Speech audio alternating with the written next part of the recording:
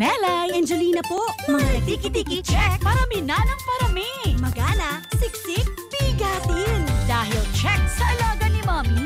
Yan ang tatak, tiki-tiki. Unilab yan. Mahalagang paalala. Ang tiki-tiki ay hindi gamot at hindi dapat gamitin panggamot sa anumang uri ng sakit.